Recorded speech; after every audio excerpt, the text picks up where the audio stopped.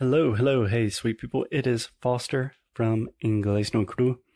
Just a quick note before we get started with the show today. Today we are playing an episode of another podcast called Dog Edition. This is a podcast that was recently launched by a friend of mine, and the podcast is amazing. It's all about dogs.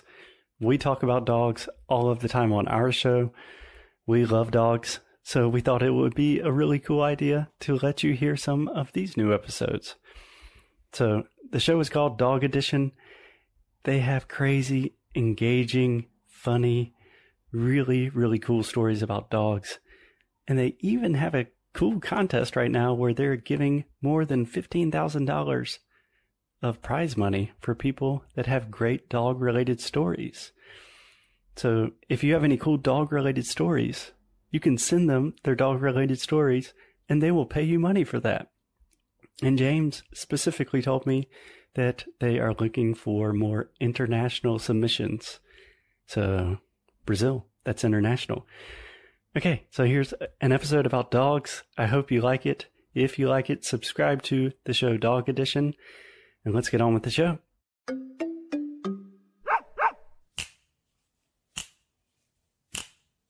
Hello, I'm James Jacobson. And I'm Pamela Lawrence. Welcome to Dog Edition, the first show designed for you to listen to while you walk your dogs. And if you like what you hear today on your dog walk, make sure you subscribe. Just click that little button and follow Dog Edition so you never miss an episode. Today on the show, we're going to speak with Martha Teichner from CBS News. She has a new book out, and it's heartwarming and touching, and you'll love the interview.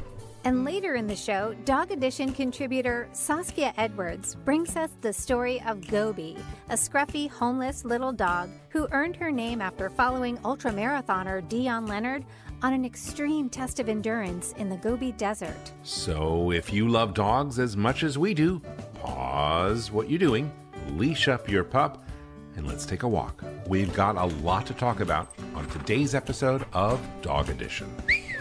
Pepper, want to go for a walk?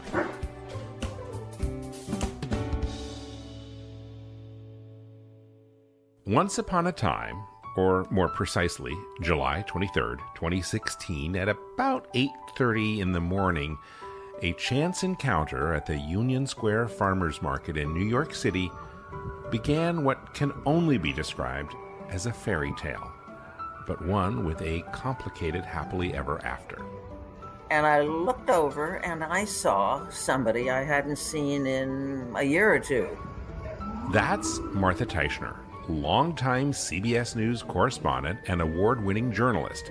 She was at the farmer's market that day with her bull terrier, Minnie. They were both mourning the death of Goose, Martha's other bull terrier, and Minnie's close companion for many years. That's when she bumped into Stephen Miller Siegel, they were acquainted, as many New Yorkers are, from walking their dogs around the neighborhood.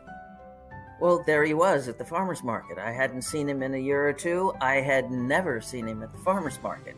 Uh, he came over and said, Well, where's Goose? And I told him that Goose had died and that I had been searching for an older bull terrier male to um, be a companion to Minnie.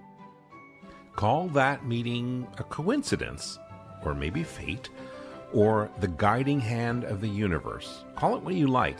What happened next feels like one of those only in New York experiences.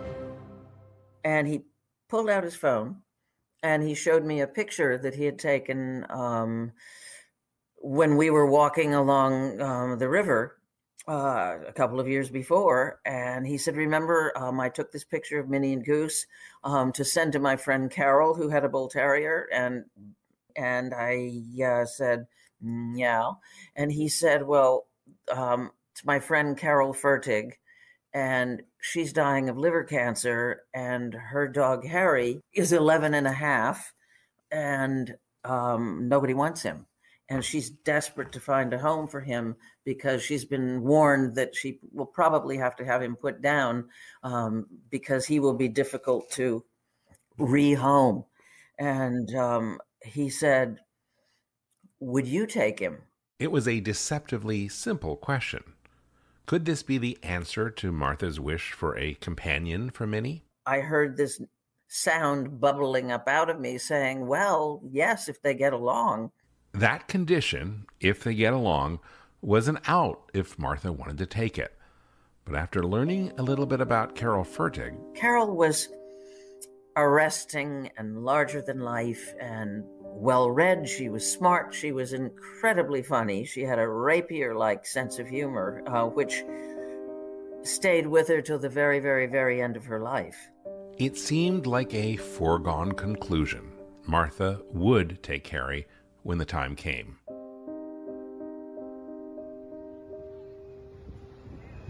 A first date was arranged for the dogs. We sat out on the stoop for a couple of hours, and um, the dogs ignored each other completely. And um, Minnie kind of flounced herself around and showed Harry her behind, and Harry completely ignored her and went digging in my pocket for treats. But the humans on that stoop had a lovely time. It was the beginning of a close and wonderful friendship, but sadly, one that would come with an ending. You know, you worry about what it's going to be like meeting and getting to know and conversing with someone who's dying. You worry that it's going to be horrible, but it wasn't.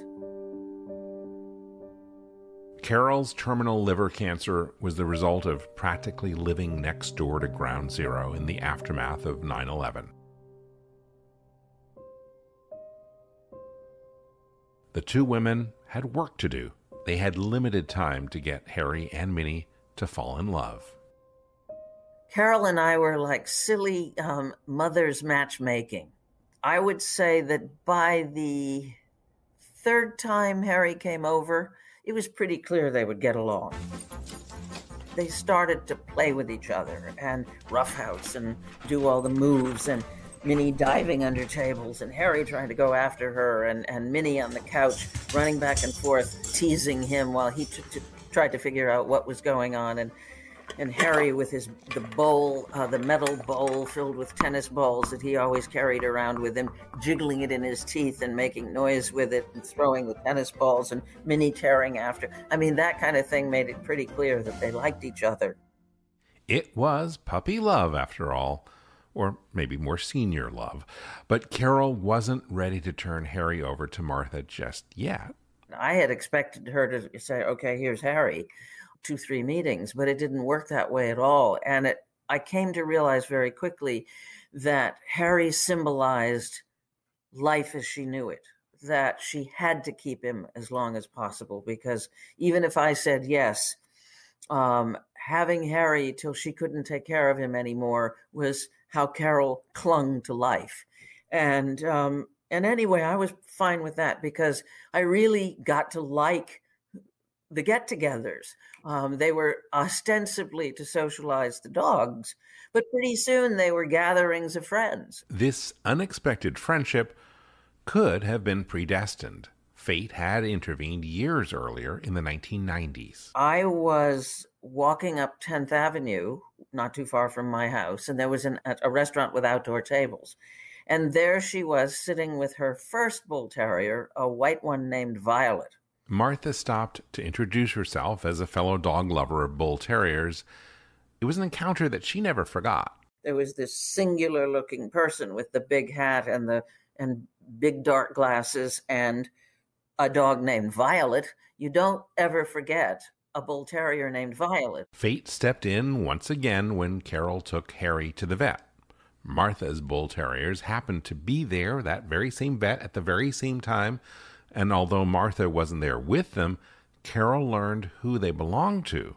Martha recounts what Carol later said about that day. Ah, Martha Teichner has bull terriers, and she knew who I was because she watched Sunday morning every Sunday.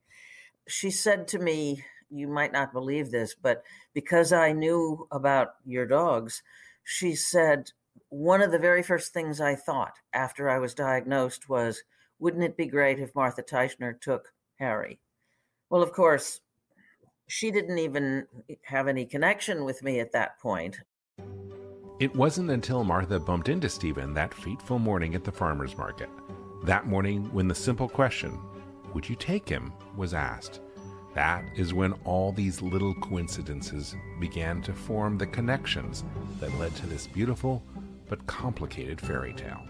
I said yes, and uh, it it um, was really, really, really profoundly meaningful to me uh, because it led me to a set of experiences that I will treasure for the rest of my life. And yes, there were sad moments, and there were, you know, ultimately I knew how the story would end, both for Carol and for Harry.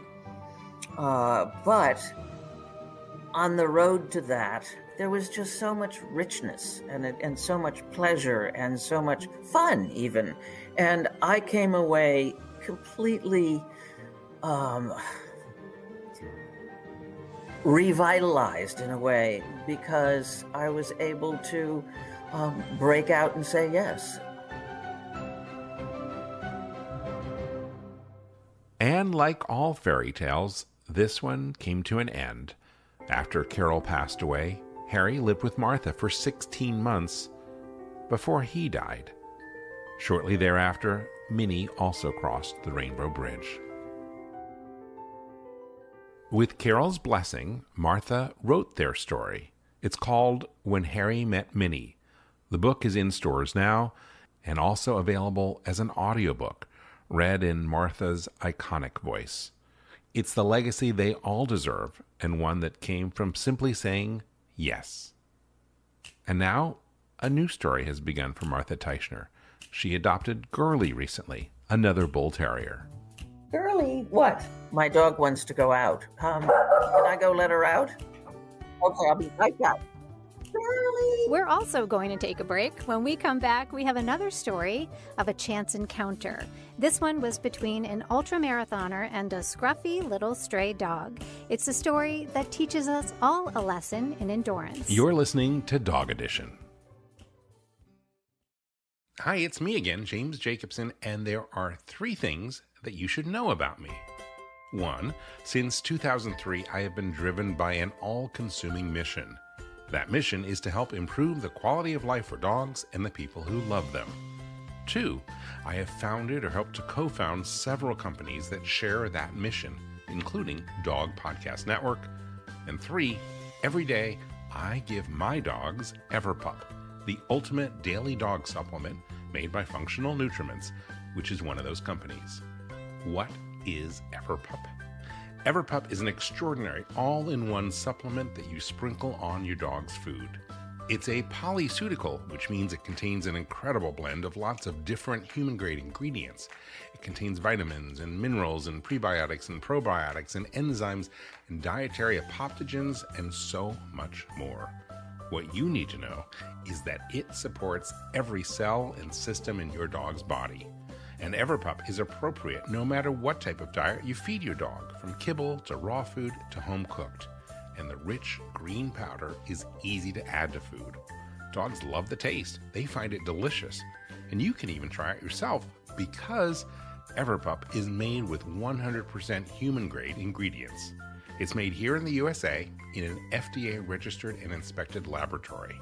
And all the ingredients are ethically sourced and triple checked for quality.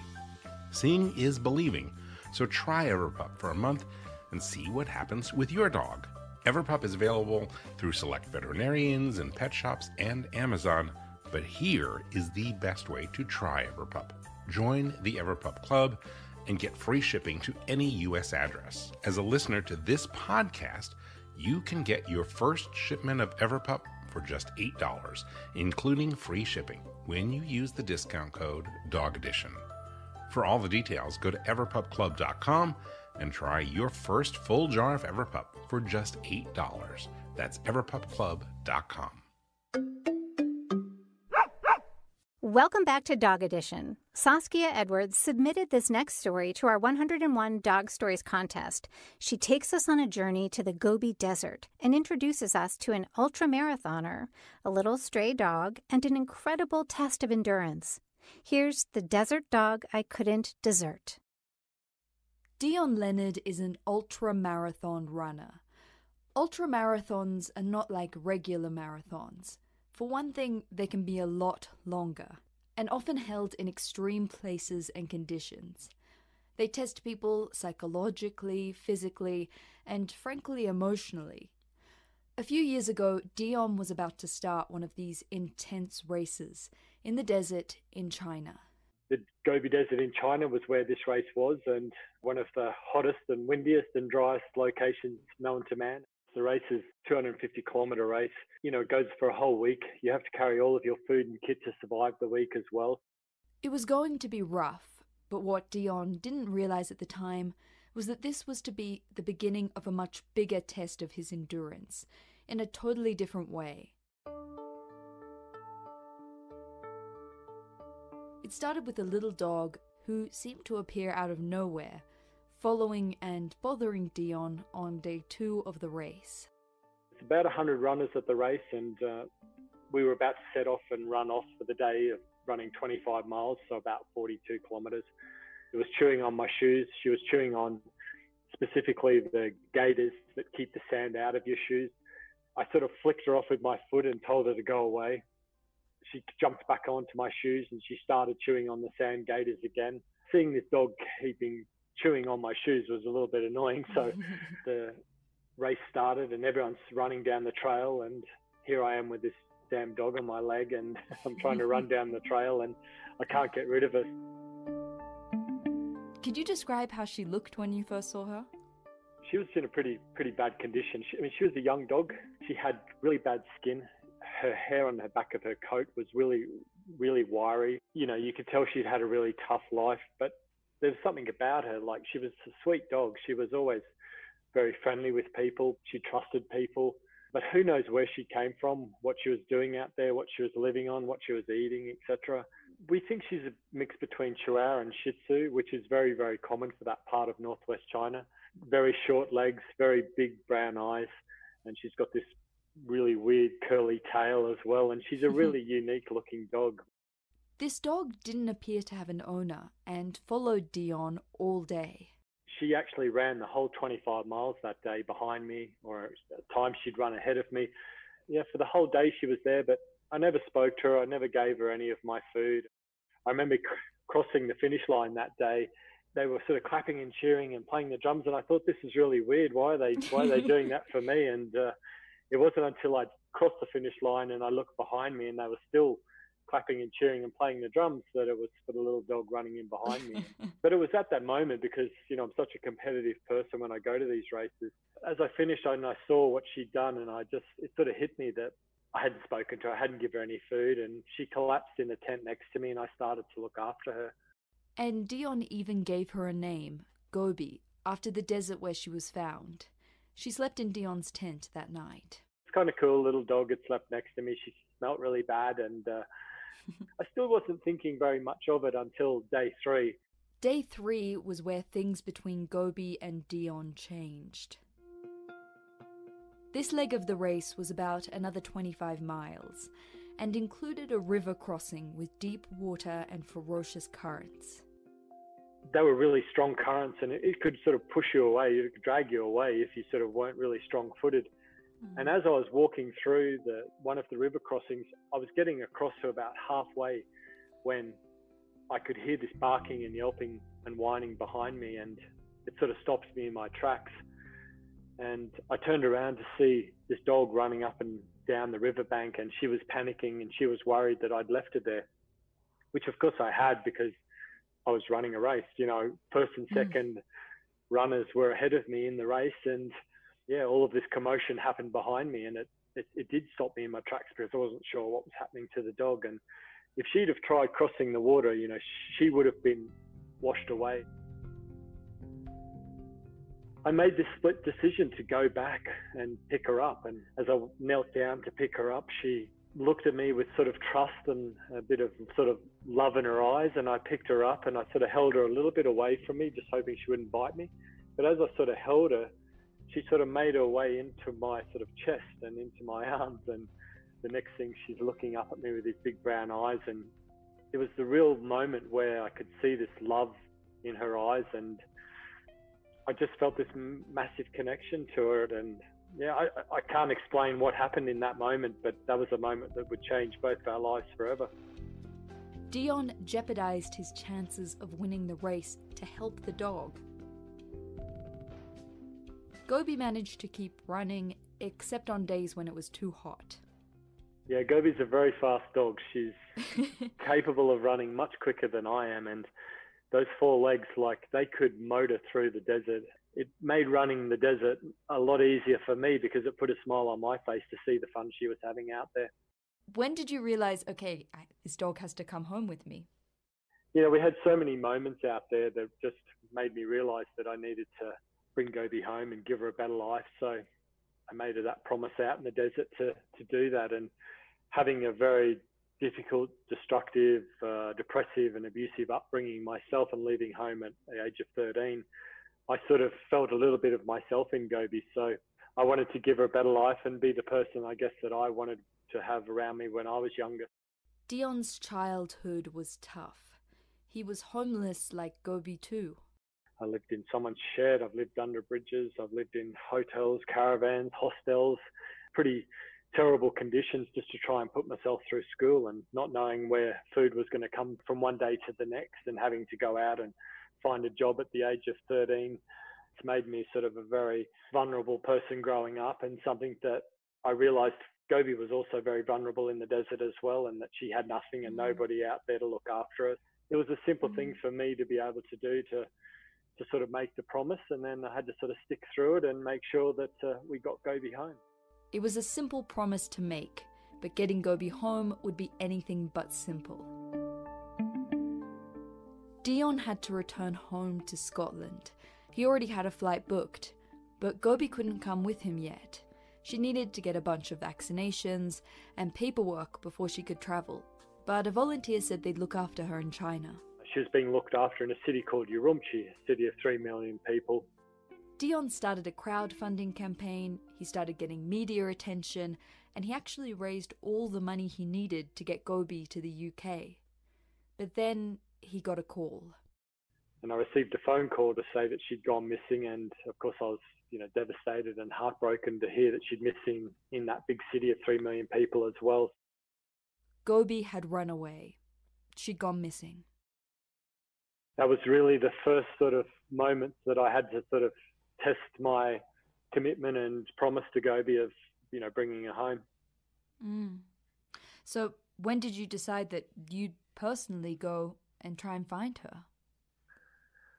Well, I had to speak to my employers to say, look, uh, you remember that story of me and the dog? And well, unfortunately, she's gone missing now. And uh, they were great. They gave me a blessing to go out there and to, to look for her. So Dion took several flights and travelled thousands of miles back to China. Not knowing the language, not knowing anyone, and setting up a search and volunteer team was certainly pretty overwhelming. But that's what yeah. I sort of set out to do and to make sure that I at least tried my best to try and find her, which I thought was probably really a needle in a haystack. What kind of help did you start to get, or how did the search go? So I started off with one lady, and she would help me putting up these posters of uh, Gobi being missing.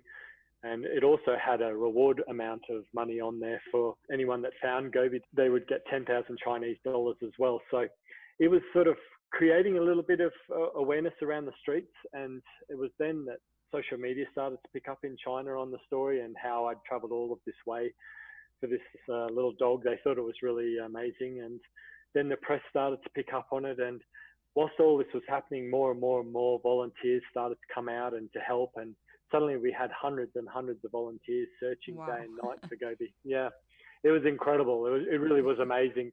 All these people coming together, looking for Gobi, it was amazing. But with all the hype, things took an unexpected turn. There was a lot of pressure on on myself to to find Gobi, and we had mm. to just keep searching and keep looking. And and one of the things that happened was we had that 10,000 Chinese dollars, it's equivalent to three months' salary for someone in that area. So, yeah, a bit of a negative as well because we had a lot of bad people coming out of the uh, out of the woodworks trying to tell me that they'd had Gobi, they wanted more money, they were going to kill Gobi if I didn't give oh them oh more God. money. They would we would have phone calls from people saying, "We've got your dog," and I'd go round to their home and you know to be a Labrador and I'd say that that's this isn't the dog, is it? And they're like, no. Then it got downright scary. the story gained so much news, media, social media popularity that the Chinese government started to also message us to say, look, we're happy with everything that's going on, but if this turns sour or if things go wrong or if Dion starts to say negative things to the press, then we're going to shut down the search and I'd be, wow. you know, kicked out of the country straight away. So this turned into a way more complicated and stressful search than you first anticipated. At any point, did you sort of give up hope and think, this is too complicated and difficult, I need to just give this search up? The search was spiraling out of control. I was becoming very depressed about the state of where we were going with the search and the likelihood that we wouldn't find Gobi. It was certainly a very, very difficult period and something that I wouldn't ever want to have to go through again. Dion was really about to throw in the towel, give it all up, but then he got a message. It was actually late one evening and we received a message to say someone's just sent a photo of this dog and they think it's Gobi and there was a father and son who were walking through a park and they noticed this little dog between the bushes and looking sort of thirsty and hungry. And they thought ah, i think that's the dog that's in the that's been missing that everyone's talking about and we'll send a picture over and we'll see if it's the dog. When we received the picture i wasn't so sure it was gobi. Uh, the picture wasn't great. And she, the dog that was in the picture had this wound on its head. Hesitantly Dion and some volunteers made a one hour drive to see the dog. By the time we got there, I was pretty tired and pretty much over it all. And I remember walking up into the home thinking, this isn't going to be it. This is going to be another shakedown for money, another problem. As I walked into the house, I walked in behind the translator, the driver. So I was the last person to walk in and I hadn't said a word. And across the other side of the lounge room was this little dog and it came running towards me and it was barking and yelping and whining just like the dog along the river that day and it jumped mm-hmm. up into my arms and I realized straight away it was Gobi. And how did you feel? Oh, I was in tears. I was like uh, amazed, uh, overwhelmed, overjoyed. I, I could not believe it. Everyone else around me just kept saying, "Is that Gobi? Is that Gobi?" I was like, "Yes, yes, yes, yeah." I mean, I just couldn't believe it. Gobi was injured, but alive.